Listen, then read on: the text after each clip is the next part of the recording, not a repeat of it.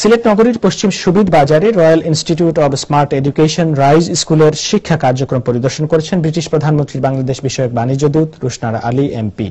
শুক্রবার স্কুলের ক্যাম্পাস পরিদর্শনে গিয়ে বাংলাদেশি বংশোদ্ভূত এই এমপি বলেন, রাইজ স্কুলের শিক্ষা কার্যক্রম দেখে আমি অভিভূত। সামগ্রিকভাবে এই প্রতিষ্ঠানের কার্যক্রম ব্রিটিশ স্ট্যান্ডার্ডের বলেও তিনি জানান।